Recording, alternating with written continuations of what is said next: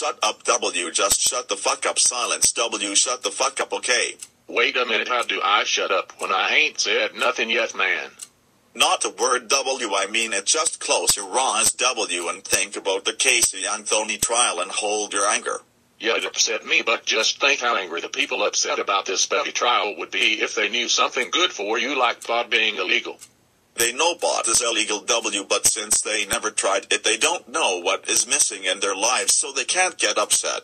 I guess you're right. You have to experience how good something is before you get upset when it is finally taken away so they are fools, huh, Obama?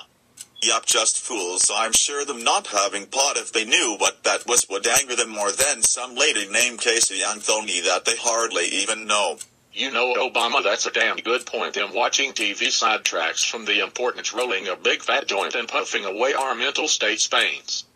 Well, they got sucked into someone else's drama. It's a mind game on taking population with poor self-esteem and seeing someone supposedly worst inflates the ego. Yes, since they already feel like angry losers, they hope someone else that they think is below them gets in trouble that will boost self-esteem. No need to get high, please.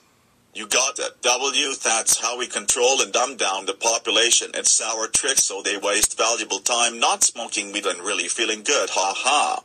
Well, being deprived of a medicine that bringing their balance harmony and good health will keep them off balance so they get lost in meaningless drama. It's control, I see it. You see it W. If they don't know what to really fight for, then it means they are lost and soap operas mislead them from gaining true freedom. Ha ha ha. Well, damn it, you're right. It's like Barnum and Bailey Circus that a sucker is born every minute. Well, let's go to the limo and smoke the hydroponics Obama.